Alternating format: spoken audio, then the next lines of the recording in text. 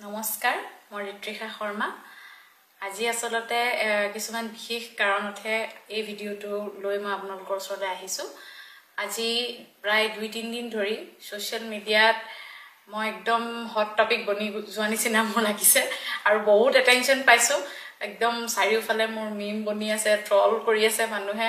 আৰু সঁচা কথা ক'বলৈ গ'লে মই জীৱনত কেতিয়াও ইমান এটেনশ্যন পাই পোৱা নাই। বহুত কষ্ট কৰি গান বনাওঁ বিশ্বাস কৰক। আৰু এটা এটা গান বনাওঁতে ইমান আমাৰ কষ্ট হয় কিন্তু তাৰপিছতো আমি আপোনালোকৰ পৰা ইয়াৰ টেন পাৰ্চেণ্ট মানে এটেনশ্যনো নাপাওঁ। বহুত কিন্তু বিচাৰোঁ দেই বহুত মানে হাবাথুৰি খাব লগা হয় আপোনালোকৰ এইখিনি এটেনশ্যন পাবলৈ। কিন্তু মই কিবা আপোনালোকৰ মানে আপোনালোকে নাম দিছে মোৰ এইটো ছেকেণ্ড এংগেজমেণ্টৰ নাম দিছে আপোনালোকে। হয় বাৰু মই মানিছোঁ যে মোৰ চাৰি বছৰ আগতে আৰু এবাৰ এংগেজমেণ্ট হৈছিল এজন ব্যক্তিৰ লগত যিটো কিছুমান বিশেষ আমাৰ কাৰণত মিউচুৱেলি আমি সেইটো ছেপাৰেট কৰিব লগা হ'ল ইজনে সিজনৰ পৰা ছেপাৰেট হ'লোঁ উইথ প্ৰপাৰ ৰেচপেক্ট আৰু সেইটোৰ ৰিজনটো মই আপোনালোকক দিব লাগে বুলিও নাভাবোঁ কাৰণ এইটো মোৰ পাৰ্চনেল লাইফ হয়। আৰু তাৰপিছত সকলোৱে নিজৰ লাইফত আগবঢ়াৰ সকলোৰে অধিকাৰ থাকে। আপোনালোকৰো লাইফত হয়তো তেনেকুৱা ঘটনা ঘটিছে যাৰ পিছত আপোনালোকে হয়তো আকৌ নতুনকৈ নিজৰ লাইফ আৰম্ভ কৰিছে। তেনেকৈ ময়ো মানুহ আৰু ময়ো সেইকাৰণে মোৰ নতুনকৈ জীৱনটো আৰম্ভ কৰিবলৈ ওলাইছোঁ আৰু আৰম্ভ কৰাৰ এই শুভ মুহূৰ্তৰ মানে ফটো কেইখনমান আচলতে পষ্ট কৰিছিলোঁ আপোনালোকৰ পৰা কিছুমান আপোনালোকৰ মৰম পাবলৈ আপোনালোকৰ শুভেচ্ছা পাবলৈ। কিন্তু উল্টাটোহে হ'লগৈ কাৰণ কাৰণ হয়তো মই ভাবিছোঁ কাৰণটো সেইটোৱেই যে মোৰ হ'বলগীয়া স্বামী মোতকৈ বয়সত ডাঙৰ তেওঁৰ মূৰত চুলি কেইডালমান কম আছে আৰু সেইটো ৰিজনৰ কাৰণে মোৰ একো প্ৰব্লেম হোৱা নাই আৰু মোৰ পৰিয়ালৰ মানুহৰো একো প্ৰব্লেম হোৱা নাই আৰু তেওঁৰ নিজৰো প্ৰব্লেম হোৱা নাই। তেওঁৰ নিজৰ এইজটো লৈ তেওঁৰ প্ৰব্লেম নাই তেওঁৰ মূৰৰ চুলি নথকাৰ কাৰণে তেওঁৰ প্ৰব্লেম নাই। কিন্তু মই দেখিছোঁ বহুত ৰাইজৰ এই কথাটোক লৈ বহুত প্ৰব্লেম হৈছে। আৰু আপোনালোকৰ আপোনালোকে নিজে ভাবি চাওকচোন এই কথাটোক লৈ পেলাই বাৰু আপোনালোকে ইমান মানে বেলেগৰ পাৰ্চনেল লাইফত ইণ্টাৰফেয়াৰ কৰিব লাগেনে?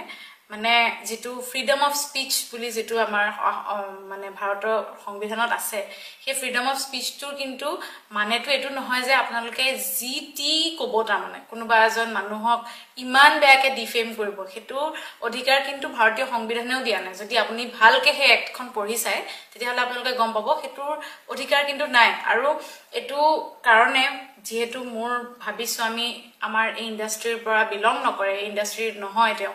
তেওঁ এজন সাধাৰণ মানুহ। তেওঁৰ কাৰণে এইবোৰ বহুত কিবা অদ্ভুত কথা হৈ গৈছে আৰু এইটো তেওঁৰ কাৰণে এটা মেণ্টেল হেৰাচমেণ্টৰ নিচিনা হৈছে। তেওঁৰ কাৰণেও তেওঁৰ পৰিয়ালৰ মানুহৰ কাৰণেও মোৰ পৰিয়ালৰ মানুহৰ কাৰণেও তাৰ লগতে মোৰ এক্স আৰু এক্সৰ পৰিয়ালৰ কাৰণেও এইটো এটা মেণ্টেল হেৰাচমেণ্ট হৈছে যিটো একেবাৰেই গ্ৰহণযোগ্য নহয় আৰু খুব বেয়া লাগিছে আচলতে। কাৰণ যিটো ধৰণেৰে আপোনালোকে মিমছ বনাইছে মোৰ পাষ্ট আৰু প্ৰেজেণ্টক লৈ নাও এণ্ড দেন এনেকুৱা ধৰণৰ মিমছ বনাইছে আৰু বিভিন্ন কথা মই সেইবোৰ ক'বলৈ আচলতে মোৰ বেয়াই লাগিছে ভিডিঅ'টোত কিন্তু মই যদি ক'বলৈ বেয়া পাইছোঁ ভাবকচোন কেনেকুৱা ধৰণৰ ক্ৰিয়া কৰিব আমাৰ মনত। আপোনালোকৰ যদি লাইফক লৈ পেলাই মই বা আপোনালোকে চিনি নোপোৱা কোনোবা এজন ব্যক্তিয়ে আহি এনেকে আঙুলিয়াই বা এনেকে হাঁহে তেতিয়া আপোনালোকৰ কেনেকুৱা লাগিব বাৰু? সকলোৰে নিজৰ নিজৰ চইচ মোৰ নিজৰ চইচ মই কাক চুজ কৰিছোঁ জীৱনত কাৰ লগত মই বিয়া পাতিব বিচাৰিছোঁ সেইটো মোৰ চইচ মই কিমান মোতকৈ বয়সত ডাঙৰ বা সৰুৰ লগত বিয়া পাতোঁ সেইটো মোৰহে কমফৰ্ট জ'নৰ কথা আচলতে। মই সেই বুলি ভাবোঁ। আৰু আজি মই বহুত বিভিন্ন পেজৰ ফেচবুক পেজ বিভিন্ন ফেচবুকত ব্যক্তিৰ পষ্ট দেখা পাইছোঁ আৰু বিভিন্ন নিউজ পৰ্টেল নিউজ চেনেলছ দেখা পাইছোঁ ইউটিউব চেনেলছৰ দেখা পাইছোঁ। তেওঁলোকে আমাক লৈ মিম বনাই আছে। সেইটোক লৈ মই অতি সোনকালে ষ্ট্ৰিক্ট লিগেল একশ্যন ল'বলৈ গৈ আছোঁ আৰু সেইকাৰণেই মই আচলতে আজি এই ভিডিঅ'টো বনাইছোঁ। যিখিনি ট্ৰলাৰ আছে ট্ৰলাৰখিনিক মই কৈছোঁ মানে আপোনালোকে এই ভিডিঅ'টোৰ জৰিয়তে এইটো কথা জানি থওক যে যদি অতি সোনকালে আপোনালোকে কিবা লিগেল নটিচ মোৰ ফালৰ পৰা পায় তেতিয়াহ'লে আচৰিত নহ'ব কাৰণ সেইটো হ'বলৈ গৈ আছে। আৰু কাৰণ এইটো বহুত বেছি আগবাঢ়ি গৈছে আমি ইমান হ'ব বুলি ভবা নাছিলোঁ। আৰু এইটোৱে আমাক বৰ মন মগজুত বেয়াকৈ ক্ৰিয়া কৰিছে। বহুত মানুহে মোক ইণ্ডা মানে ইনফেক্ট এনেকৈও কৈছিলে যে এইটো তুমি একো ৰিয়েক্ট কৰিব নালাগে দুদিন পিছত মানুহে পাহৰি যাব আৰু তাৰপিছত বেলেগ কিবা টপিক হৈ যাব। ট্ৰল ট্ৰলৰ কাৰণে বেলেগ টপিক ওলাই যাব।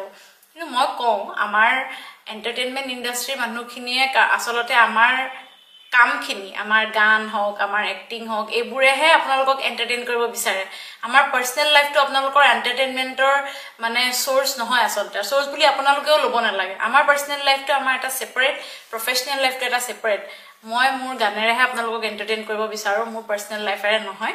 গতিকে আপোনালোকেও সেইটো কথা মনত ৰাখক আৰু আগলৈ যাতে এনেকুৱা ধৰণৰ কোনো ধৰণৰ মিম মই মোৰো নহয় বাকী আমাৰ মানে এণ্টাৰটেইনমেণ্ট ইণ্ডাষ্ট্ৰীৰ বাকী মানুহখিনিৰ কাৰণেও কৈছোঁ। কাৰো কাৰণে সেইটো গ্ৰহণযোগ্য নহয় আপোনালোকে এইটো প্লিজ মনত ৰাখিব কিবা এটা বেয়াকৈ লিখাৰ আগত অকণমান মনত পেলাব সেইটো কথা। আৰু আজিৰ এই ভিডিঅ'টোৰ কমেণ্ট ছেকশ্যনটোও মই বন্ধ ৰাখিছোঁ। কাৰণ মোক ইয়াৰ আৰু কোনো ধৰণৰ ফাৰ্ডাৰ তাৰমানে মিমছ আৰু কমেণ্টছ নালাগে বা আপোনালোকৰ চিম্পেথিও নালাগে এই ভিডিঅ'টোৰ মানে পিছত। কিন্তু মই শ্বেয়াৰ অপশ্যনটো অ'পেন ৰাখিছোঁ। আপোনালোকে শ্বেয়াৰ কৰক। ইমান যাতে শ্বেয়াৰ হয় এইটো ভিডিঅ' যে সেই ট্ৰলাৰ্ছখিনিৰ ওচৰত যাতে পায়গৈ আৰু তেওঁলোকে যিখিনি ট্ৰল কৰিছে সেইখিনিও বন্ধ কৰক আৰু আহিবলগীয়া সময়তো যাতে মোক নহয় বেলেগ কাকো যাতে তেওঁলোকে ট্ৰল কৰিবলৈ কাৰণে ভয় খায় সেইকাৰণেহে এই ভিডিঅ'টো বনাইছোঁ। সকলো ভালে থাকক কুশলে থাকক নিজৰ জীৱনবোৰত গুৰুত্ব দিয়ক লোকৰ জীৱনবোৰৰ পৰা অকণমান আঁতৰি থাকক। তাৰে কামনা কৰিলোঁ। ধন্যবাদ।